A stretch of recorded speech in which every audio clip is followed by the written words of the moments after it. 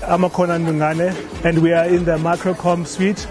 Uh, we're playing golf here today, just enjoying Loftus Versfeld from a different angle.